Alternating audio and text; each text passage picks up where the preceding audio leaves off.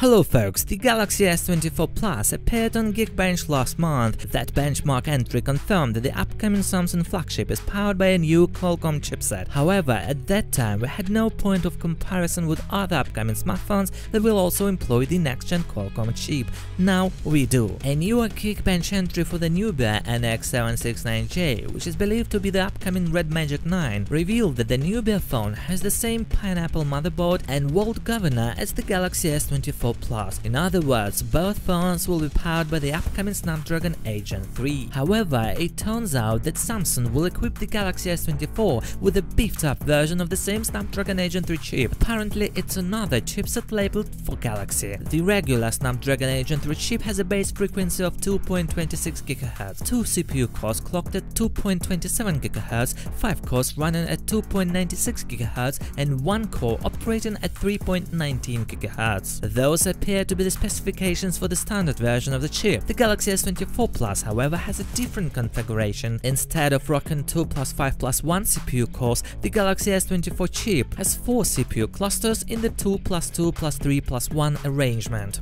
The for Galaxy Snapdragon 8 Gen 3 has the same 2.26 GHz base frequency and 2.26 GHz frequency on the first two CPU cores. However, the 3 core cluster is clocked at 3.15 GHz GHz instead of 2.96 GHz, and the single high-performance core runs at 3.30 GHz, up from 3.19 GHz. All this suggests that Samsung and Qualcomm will continue the partnership they started earlier this year when the Galaxy S23 was announced with an exclusive for Galaxy Snapdragon 8 Gen 2 chipset. The upcoming Galaxy S24 series will also be powered by a for Galaxy Snapdragon 8 Gen 3 chip, which will perform better than the standard variant. Nevertheless, there is a possibility that Qualcomm will eventually release an equally powerful version of the for Galaxy chip for other manufacturers to use later in 2024. Galaxy S23 FE leaks and rumors are cropping up at an accelerated rate, which indicates that the phone is being readied for release sooner rather than later. Yesterday, Samsung spilled the beans on one of its own portals, and today the Galaxy S23 FE passed through Bluetooth. If there was still any doubt, the Bluetooth documents link the Galaxy S23 FE name with the SMS711 model number. What's more is that Bluetooth greenlit a handful of variants. The list includes the US and US unlocked Galaxy S23 FE, the international model, the Canadian version, and the Fan Edition device meant to go on sale in China, Taiwan, and Hong Kong. In theory, these recent occurrences bring the Galaxy S23 FE closer to its market debut. There is no official information on when Samsung might want to release the next Fan Edition device, but back in June, what was that Samsung intends to release the Galaxy S23 FE in select markets in quarter 3 2023, with a wider release being planned for quarter 4 2023 and even quarter 1 2024. The Galaxy S23 FE is said to be powered by the Snapdragon 8 Gen 1 in the USA and the Exynos 2200 in most other markets. Other leaks and rumors hint at a flat design with individual circular camera cutout similar to the Galaxy S23. A few months ago, there was a lot of heated discussion about how Samsung displays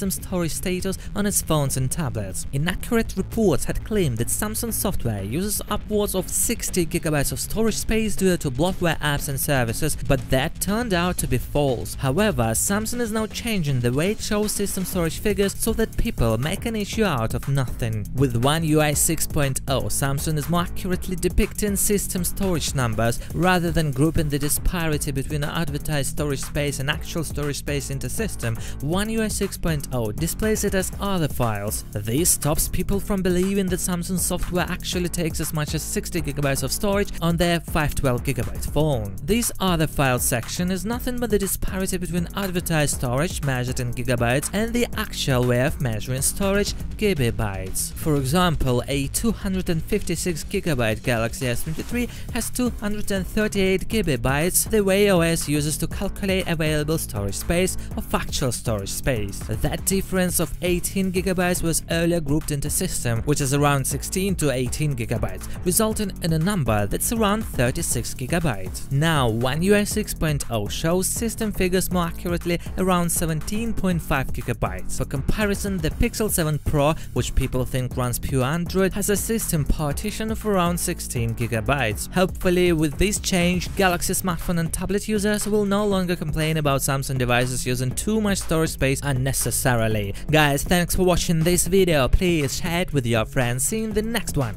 good luck to all.